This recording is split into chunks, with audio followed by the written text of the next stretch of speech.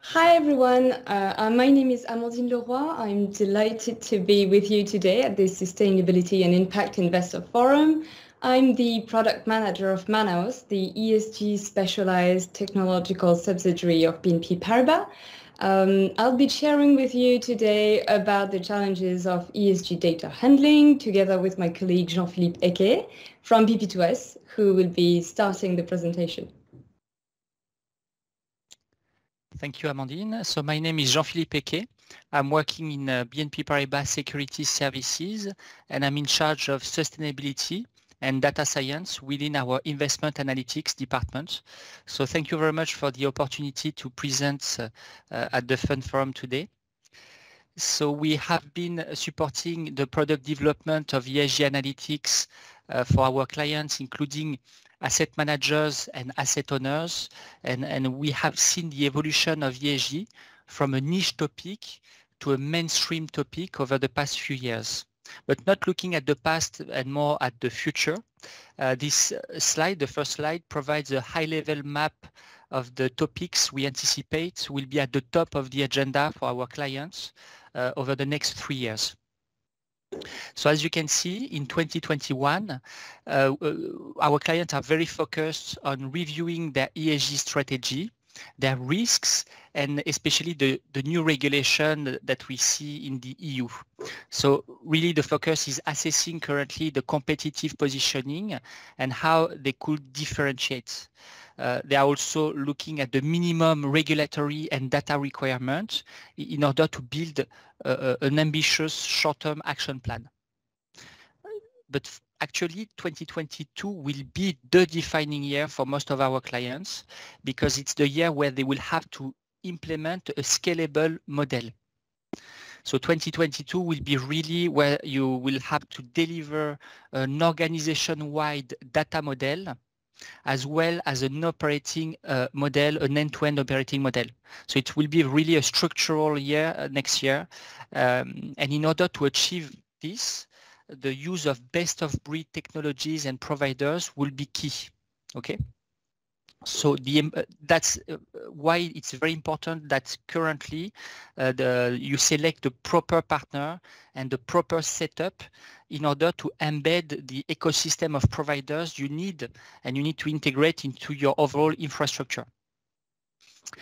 Then in the medium term in 2023, uh, hopefully our client will take ESG to the next level uh, where all their employees will have to live and breathe sustainability across their organization.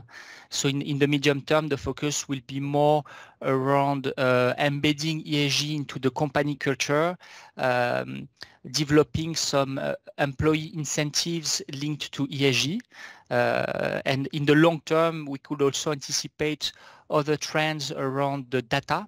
Uh, we can see maybe more data complexity, more granular data sets uh, coming to the market, uh, which could serve as further opportunities for our asset manager client to further differentiate in, into this highly competitive uh, market. But focusing more on the short term now, um, Amandine will go through some of the operational and data challenges for especially for next year um, and uh, that we absolutely need to solve if we do not want to end up in a situation uh, displayed in, in this image. Thanks, Jean-Philippe. That's um, that's one of the best images we, we could find to describe what a, a mess it can become to deal with new ESG data on top of the traditional data. So as you mentioned, we see clients currently focused on finding data sources and adapting their ESG ambitions, and, and they're right because ESG is, is not nice to have anymore. It will affect every part of the investor's value chain so that, that better source good data sets.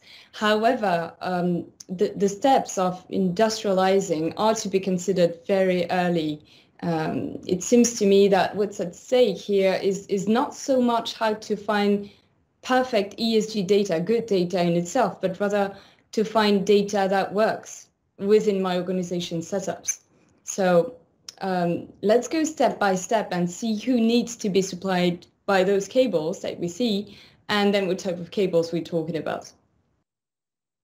Um, business needs are numerous and everyone's going to use ESG data in his or her daily job uh, in the future. So I'm not going to go through the whole list, but just to give you a few examples, the product managers will have to reassess the product promises to better serve the new market demands. The CIOs will want to adapt their investment strategies to leverage new opportunities and take new uh, constraints into account into their uh, uh, investing philosophies. The portfolio managers will modify the way they investigate on corporates and, and they will have to use new alerting systems and, and investment compliance uh, tools. And then obviously the reporting, the compliance and the risk officers uh, will incorporate the whole upcoming reporting and, and risk uh, requirements into their daily activities. So in the midterm, all of these actors will likely uh, want a solution that is robust and industrial with uh, limited manual handling. So how is everything going to work and irrigate the various existing systems?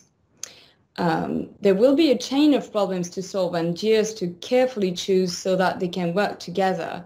And the first set of problems to solve is about the data sourcing. What data uh, do I need to source and how? Uh, which are the sources that best fit my objectives? How to compare the providers in terms of prices and coverage? How do I test the results uh, on my portfolios, avoiding the, all those tedious manual exchanges? Uh, then what do I have the right to do with the data? How much is it going to cost me? Uh, how do I set up the, the right data feed? everything, all those questions are to be solved before we can go to the next round, I'd say, gears uh, uh, that are to be put in place. Uh, the data management type of uh, actions, how to aggregate, control, how to prepare the internal data, what do I have to do if I have to look through my portfolios in case I have invested in funds, um, how do I control and homogenize the data, define uh, according to my referentials? How do I match at the end the extra financial data that I have just sourced with my holdings and my position? That's uh, another step which is also difficult. W what are the extrapolation options that I can use when the data is not available? Everything, having done that, then I can switch to the next step, which is how do I extract value out of this magma by defining my uh, uh, my KPIs, my customized, simple and effective KPIs. How do I present them under analytics that serve the business needs? How do I connect with uh, reporting tools, the PMS, the risk tools, and then how do I extract the data and uh, uh, disseminated externally to both the regulators and the end investors. All of these problems, when you see the list of use cases and the list of problems to solve, you can feel that the IT systems of our clients will end up looking like the cables that we showed. So Jean-Philippe will help you go through the big options and models so that you can keep in mind in, in making your choices. Thank you, Amandine. So in, in order to solve uh, these challenges, uh, connecting efficiently to a range of external stakeholders will be key. So the first obvious choice for clients is to consider uh, to plug themselves to, to the ecosystem of provider across the data creation, the data management, the analytics, and the reporting.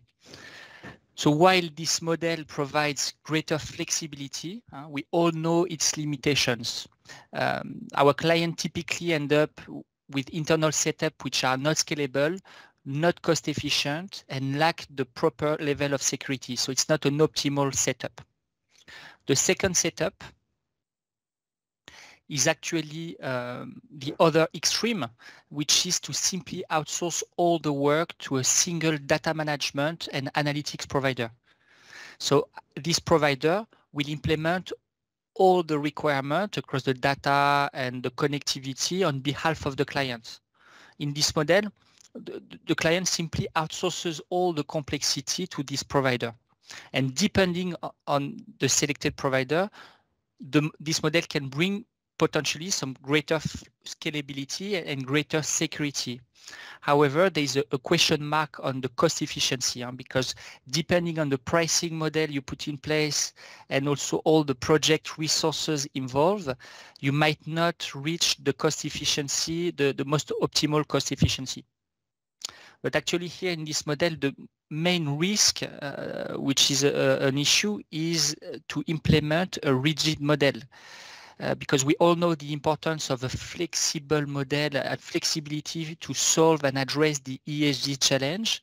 And in this model, uh, it's not really optimal due to the lack of flexibility.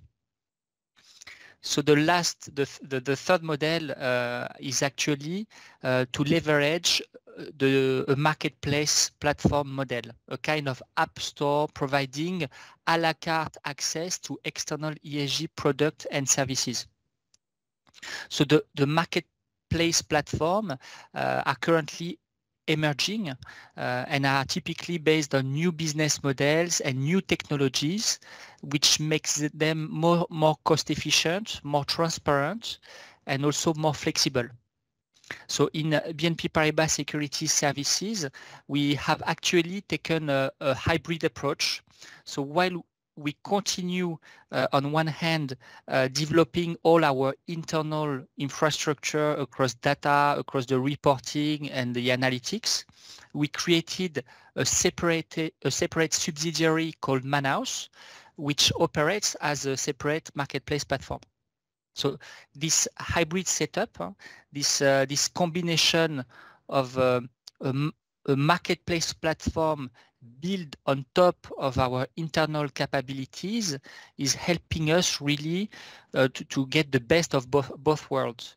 So we can reach greater flexibility, we can reach greater scalability, cost efficiency, and security using this combination. And uh, we, so we think this setup is actually the, the most uh, optimal setup uh, to implement. And uh, Amandine will now go through the Manaos model in more detail. Yeah, so um, Manaos, as, uh, as, as, I mentioned, is a subsidiary of BNP Paribas based on an advanced technological stack. It, it's designed to make our clients' ESG journey simple or at least simpler. And it's based on, it's currently, it's actually an app store of financial ESG services. So the idea behind Manaos is to connect our clients with a system of experts and fintechs and data providers that will be able to help them. And so this way, our clients should be able to identify the steps that they want to do by themselves and then outsource and or complement them with the, the, the partners of their choice. So on Manaos, you'll find various types of apps. Think really of an app store or a, a play store. If you're a beginner on a subject, for example, uh, uh, I don't know, you're assessing, investigating a new area, for example, impact investing, and you would like to order, you're not comfortable with this aspect yet, and you'd like to order ready-made portfolio level analysis from an expert who will work directly on your portfolios on a secured environment. It's possible. You'll have to subscribe to this type of app. Or uh, on the other side, if you just want, you already know what to do exactly and you want to do it your way, uh, then you you can have a quick access to the data of some providers that is already matched with your portfolios uploaded on Manaos and retrieve the data exactly the way you want. So that's another possibility. It's it's a very very flexible offer. It's the the best model we found to allow our clients to adapt to the pace they choose and to their objectives. So it, it plays the role of a, a multiple socket or adapter. And, and because all the all this work of data plumbing is already done, you can test on live on real portfolios and then switch to productions in a matter of seconds. And that's really the the, the, the pain points that we want to, to solve. So whatever the solution that you choose, um, we have, Jean-Philippe and I prepared a few takeaways so that in order to help you and maybe guide your food for thoughts uh, uh, when you when you when you progress on this way. Um, the first is don't wait because it's it's already too late. Uh, the operational setup need time to be defined and according to us, it's it's not a good idea to stay with an Excel spreadsheet waiting for the market the market to mature. I, this way, you'll miss the opportunity to test the solutions that could fit your needs. And then next year, when the the time will come to in, industrialize, then you'll be lagging behind. So it's time for the market to get equipped, but obviously it's hard to know exactly what directions to take. So don't draft cathedral projects because no one knows yet who will be the winners of the ESG market. So keep things flexible in order to adapt on the go and be able to revert to another solution. Think global. Uh, keep in mind that you'll have to serve a lot of internal consumers uh, to so, so find robust solutions that can adapt to pre and post trade type of connections and and do that very easily because as we said, uh, all the actors in an investment company will want ESG data. So you have to think about all those consumers. And finally, build for the future. It's easy to say that, but you have to ensure from the start that the solutions you choose will last long and maintain a good level of security without additional costs and that they will be scalable. So if you'd like to weight the pros and cons of the solutions that you have identified, uh, uh, don't hesitate to contact us via via the uh, Fund Forum platform. We'll be delighted to exchange with you. And I think that's the end of the presentation. So I thank you very much. And we hope we'll be able to meet again in person before next year's Fund Forum. Thank you very much.